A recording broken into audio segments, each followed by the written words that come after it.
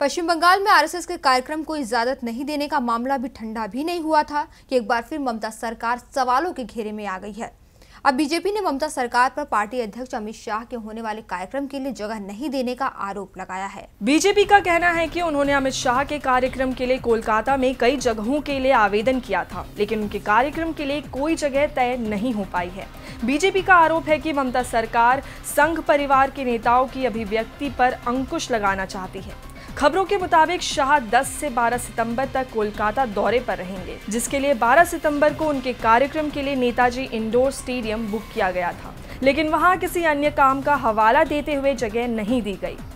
BJP नेता रूपा गांगुली ने राज्य सरकार पर हमला बोलते हुए कहा कि ममता सरकार हर मुद्दे पर राजनीति कर रही है।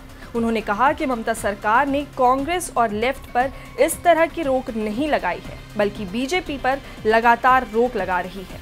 आपको बता दें कि इससे पहले आरएसएस प्रमुख मोहन भागवत के एक कार्यक्रम के लिए बंगाल सरकार ने इजाज़त नहीं दी थी, जिसे लेकर राजनीति गर्मा गई थी। डीबी लाइव की रिपोर्ट।